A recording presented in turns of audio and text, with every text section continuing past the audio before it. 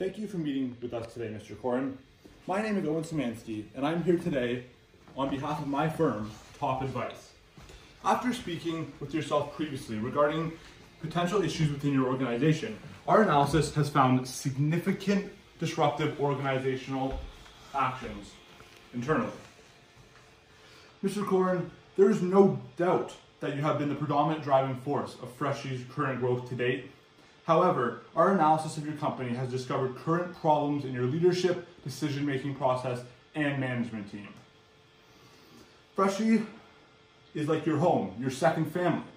Your passion and determination to grow the brand is unmirrored, and our firm wants to help you achieve this goal and return higher levels of faith back into your company's stakeholders. Destructive organizational behavior may compromise the integrity of your company's employees' organizational commitment going forward and result in continual loss in stakeholders' faith. Management's escalation of commitment and self-serving bias, along with the lack of expertise, has strongly compromised the company's current financial position. Your inconsistent interactions with fellow employees demonstrates poor leadership under the leader-member exchange theory. The degree of, leaders, of a leader's effectiveness strongly correlates with job performance. Demonstrating varying levels of sportsmanship between differing employee interactions leads to counterproductive behavior, as this displays a high degree of incivility and personal aggression through the discourteous and hostile verbal communication. Your practice of radical transparency in the workplace does not motivate every employee in a suitable manner, and affecting an employee's embeddedness can limit their civic virtue to the company and overall lower their commitment to the organization.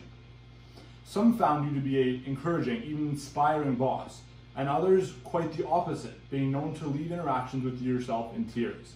The inspirational boss, experienced by many employees, needs to be a focus, as it is known to lead to high degrees of effective commitment. Your mood inconsistencies have known to lead over to the decision-making process, experiencing poor communicator competence through often deferring questions in media conferences. As you have personally said, there is no one factor affecting the underperformers, and instead put the blame on the franchise owners themselves. The decision to, re to relay the blame on franchisees shows a self-serving bias, deflecting the consequences of poor management, leadership, performance, which leads to the escalation of commitment as your company is unable to identify a fix to the issue at hand until the problem can be correctly identified. As your company is approaching the middle point of a punctuated equilibrium, aside from the early success, it seems quite apparent that a significant change is needed in order to regain Freshii's growth. After meeting with your company, executives, and outside industry analysts, it has become apparent of your company's lack of expertise and history within management. To restructure the internal workings of your current executive team and bring a higher industry knowledge and expertise to the company, our firm proposes the hire of a new COO, replacing the one which left last year. One exhibiting higher expertise in regards to the food sales industry will surely help Freshii get back on track.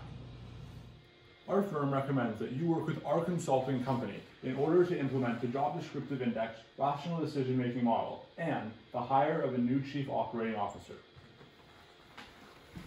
The implementation of heightened internal performance measures through the job descriptive index will incorporate the 360 degree feedback model to ensure everyone within the organization's opinion is heard, to better build trust between management, employees, and franchisees, along with guaranteeing a correct use of legitimate power down the management chain.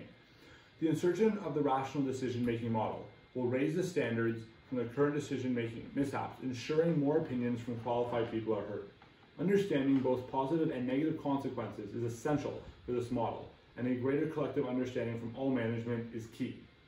The hire of a new COO will bring a new decision-making perspective to the table and to help bring a higher degree of industry expertise to your current executive team. Delegating many of your CEO duties to this position will allow for a re restart in the company's direction, bringing a new face of power to lead the company even after recognizing yourself that different skills are required to lead the company from here on out compared to the ones to build the company to date. The collaborative solution represents integrative bargaining for both yourself and the company as you remain in control of the company you built from the ground up without losing any stake in ownership and the company can reconstruct its internal workings in an attempt to regain stakeholders' confidence. Mr. Corrin, thank you very much for having us today, and we thoroughly hope you choose to proceed with our firm.